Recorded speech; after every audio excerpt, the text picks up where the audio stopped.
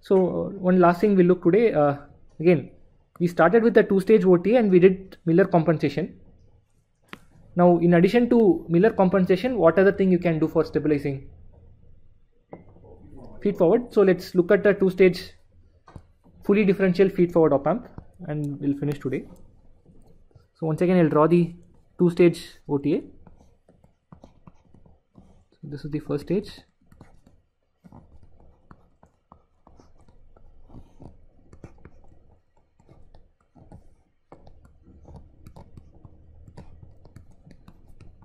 This is the first stage fully differential o- OTA and the second stage I'll draw like this.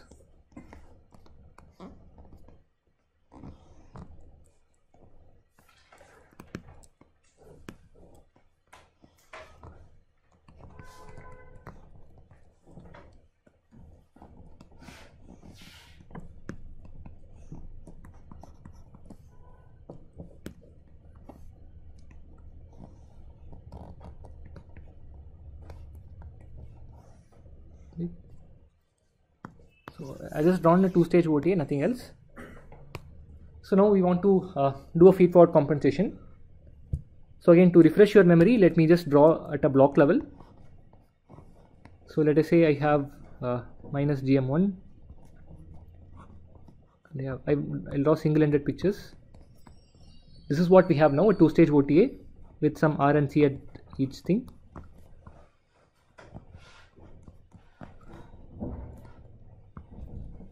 So now we want to compensate. So how do we do for feed forward? We add a faster path. So how do we add a faster path? From the input to the output, you add another GM. What should be the sign of the GM plus or minus? I mean the way I have drawn it here. Remember that both should have the same sign because you want an LHP 0. So this should be plus GM3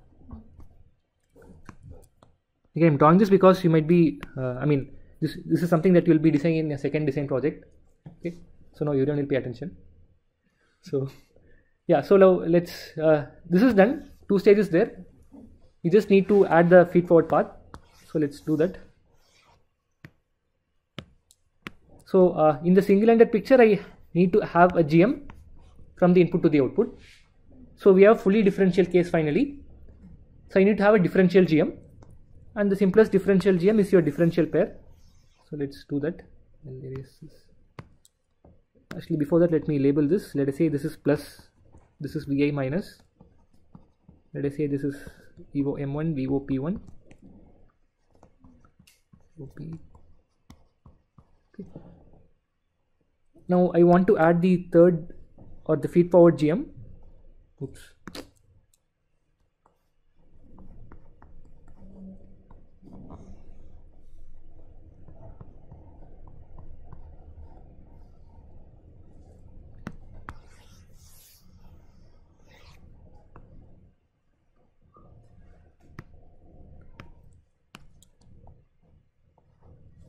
let me draw transistor. So this is the third GM. Fine. It's a differential pair. I'm just adding to the output. Okay. The only thing that I have to figure out is whether this should be Vi plus or Vi minus, right? So how do you uh, decide that?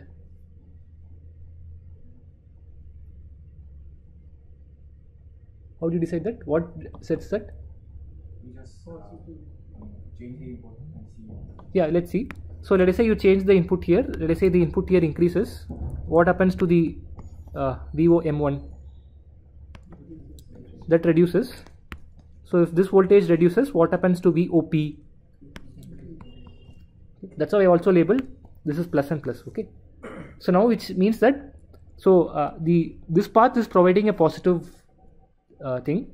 So if I increase here, this will increase. So I should apply an appro appropriate input here so that we have the same change there, right? So here if I apply VIP, if VIP is increasing, what will happen to this voltage? Decrease. So this should not be VIP, VIM because differentially if VIP increases, VIM reduces. So the left side here has to be VIM. That's all. Is that okay? again this is to make sure that the 0 is added in the left half of S plane that's the only consideration. Okay. And of course here one question uh, you should be asking is uh, why don't I just do this? Right? because even in your two stage Miller OTA I had only common mode rejection for the first stage. The second stage I just did it. So why don't I do this? So if I don't do this what do you think will happen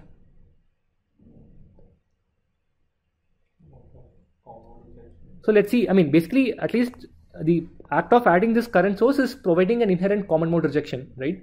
So let's see what's happening right? So let us say I have a common mode change both input increase. This is the first stage. It, it's biased with the tail current source. Let us say this is an ideal current source for the time being. So what do you think will happen to the outputs?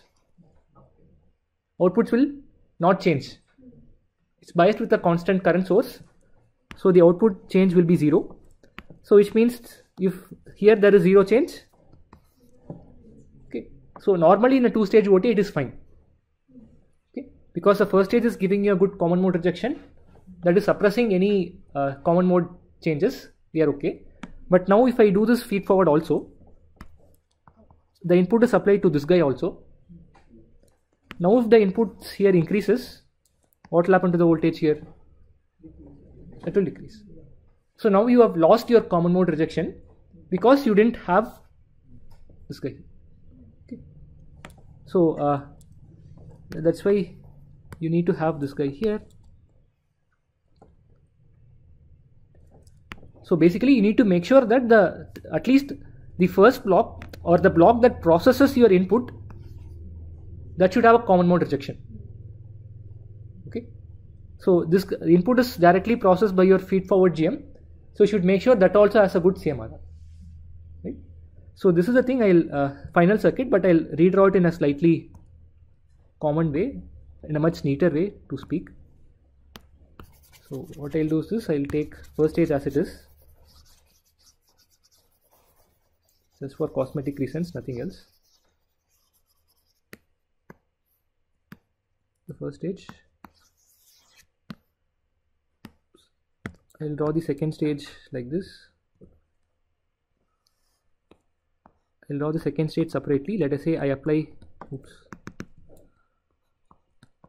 Vivo M1 here. And detail current source here.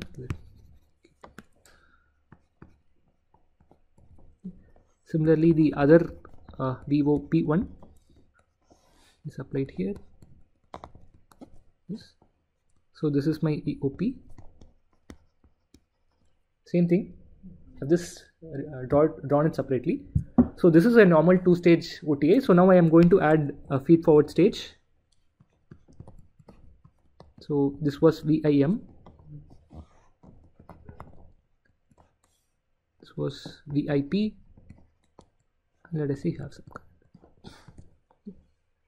so now let us say uh, this is biased to be at a current I2 and let us say you want this to be biased at a current I3 right? So what can you say about the bias current here? I2 minus I3 that is the current flowing here. So what do you think will be a, a trivial choice for choosing I2 and I3 huh? I mean I have I2 I3 there are three possibilities one greater than the other or what would be a simplest choice? Both equal. I mean there is no harm in choosing one greater than the other. But let us say you choose both to be equal. Then what can you say about the current here? So which means you need this. So that basically simplifies it. You don't need this. So that reduces two more transistors. That's all. Right? So uh, I'll basically now I'll simplify the circuit like this. The same thing. This is not there. Right and I will let's see if I can slightly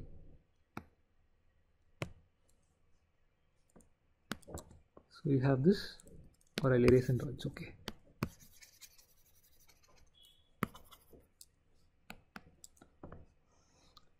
So what I'm doing now is I'm going to directly connect it here that's all I don't need two current sources now. I'll have the tail current source of this guy biasing it at 2 times I2 where I2 is the current flowing in both these guys. Okay, this clear? There is no harm in the other thing also, but this is a simpler circuit and this is also efficient because you are reusing the same current for both your second stage as well as your uh, feed forward stage. So typically this is called current reuse stuff. Wherein the idea is the following, you don't have a separate transistor whose job is to just bias, right? So here you had two transistors, their mere existence is to provide the bias current, but not providing any GM or any amplification. Here you have, uh, you, don't, you, don't, you don't have the case. Okay. Cool, so this is your two stage feed forward uh, OTA. Again, you need to have common mode feedback so let me actually do that. This is one. So you need to have separate common mode feedbacks for this guy. So whatever considerations we had in your two stage you know Miller OTA for the common mode feedback the same thing will hold here. Right? Because here once again uh, I, I don't want to put a resistive common mode detector because that will load the first stage. So to use any of the other things and the reference voltage here that you set the output common mode for the first stage to be that cannot be arbitrary because that is directly setting the current in the second stage. That has to be chosen appropriately. Same thing as in the old one. And again for the second stage also you need to have a CMFB so here the choice is to have a resistive common mode detector. I'll just draw that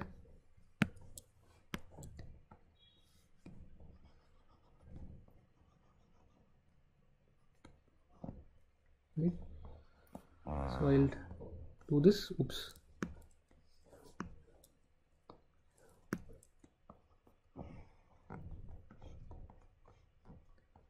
So I'll compare it to your common mode reference 2 once again typical values to choose it to be around VDD by 2 and then you can go and control the gate voltage. So I'll flip it and draw so that it's neat. So this is 2 times I2 right so again if you look at the second stage CMFB this will look like another two stage OTA right? Because again let's I'll draw it so that there is no confusion. If you draw the common mode half circuit for the second stage alone so again uh, common mode half circuit so things will get put in parallel. So I'll draw only uh, one half. So this half is gone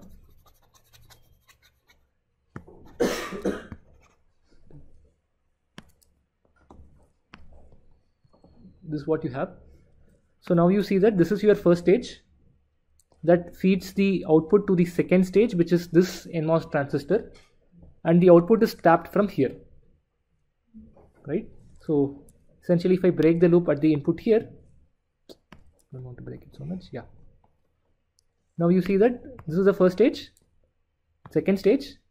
Output of the second stage is taken from here because that's what is finally fed back so if you were to do Miller compensation where would you put the capacitor?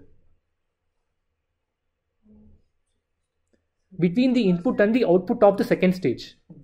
Input of the second stage output of the second stage. Okay so that's where you have to go and put. So you have to go and put a Miller cap here. That okay? Because the output is taken from here right? Not from here.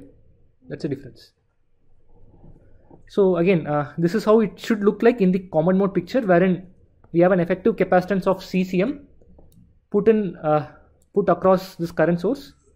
So in the actual circuit from each of these outputs I'll have half the capacitor connected here. Right?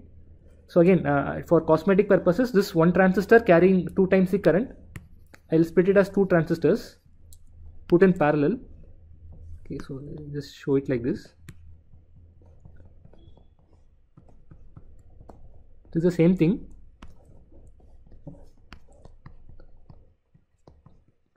That single transistor I split as two half of it so that now I can draw it nicely like this. I'll put a capacitor uh, from this node to here capacitor from this node to here.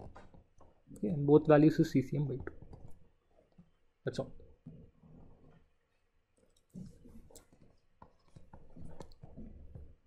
Fine.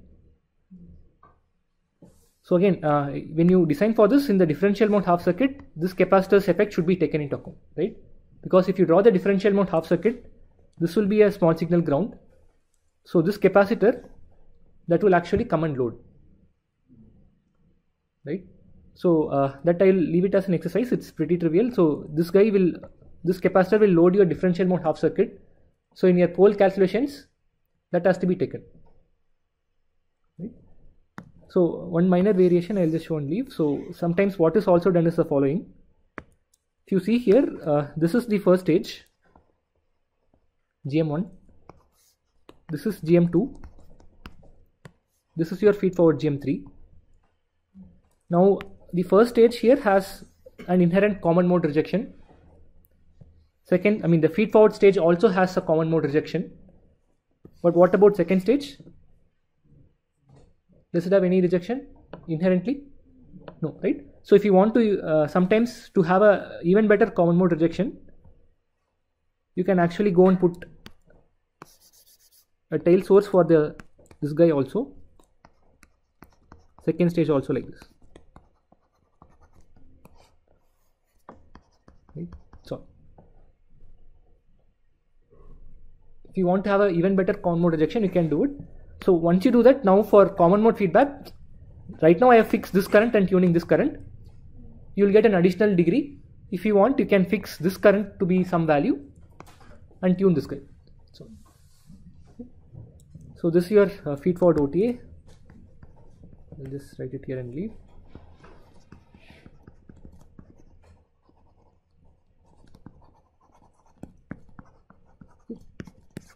and in general right if you have uh, multiple blocks like this in your system so typically it is obviously an ideal choice to have a good common mode rejection for each block individually. But if that is not possible what might be practical choice is the following. You make sure that the first stage or the stage that processes the input has a good common mode rejection so that this if there is any common mode jump this will not respond. So the rest of the circuits can be pseudo differential also. Right? Just need to make sure that you have a good common mode rejection at the beginning of your signal chain because from the inputs is where you expect any common mode changes. So if the changes from the input common mode is suppressed by your first stage all the other stages even if they don't have a good common mode rejection by ha having the tail current it is okay. okay. And one last thing so again now you have choice between omega u cm omega u dm right? So typically uh, let us say you are given specification only on the differential mode thing because that's what you are finally interested in. Differentially if you apply some input my closed loop bandwidth must be so much and so. That will set your differential mode omega u and phase margin. Now for common mode again uh, you can either choose it to be greater or lesser. So one uh, line of thought is remember that uh, my actual goal is to make a differential mode amplifier.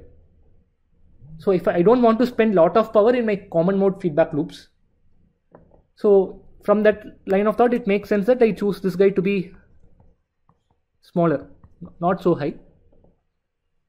Right but sometimes you might find that in your application the expected in, in the final targeted applications there can be a lot of common mode disturbances.